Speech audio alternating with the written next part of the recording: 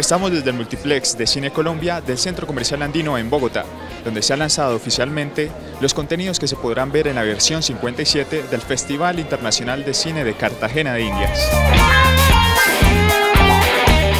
Sin duda el festival más importante de Colombia y un gran referente de América Latina y del mundo, un festival que celebra el cine colombiano y lo prioriza eh, por encima digamos, eh, de todo, el resto, a nivel de premios, a nivel de espacios, a nivel de lanzamientos, nuestra gran apuesta es a fortalecer la industria nacional y ser esa plataforma de promoción internacional desde la casa de nuestro cine colombiano. Si vamos a hablar de números, 167 películas, 6 tributos, entre tributos y retrospectivas, 6 competencias, eh, pero si ya vamos a hablar un poco más en detalle del contenido, pues vamos a ver eh, una selección de lo más interesante del cine internacional, iberoamericano y colombiano.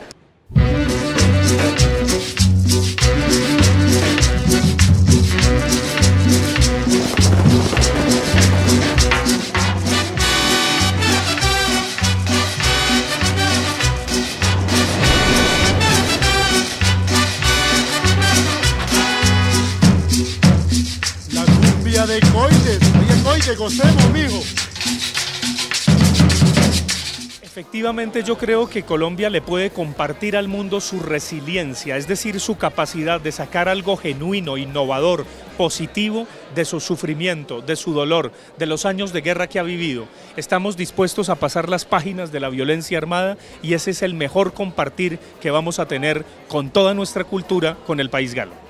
Francia con su gran cinematografía, eh, con, la gran fuerza que ha tenido durante los últimos años del festival en donde ha sido presente con películas, con invitados, con productores, con directores, con prensa internacional. Por supuesto que en el año Francia-Colombia viene mucho más potente, vamos a tener una muestra de cine negro francés y una exposición eh, fotográfica extraordinaria eh, de la vida del cine francés.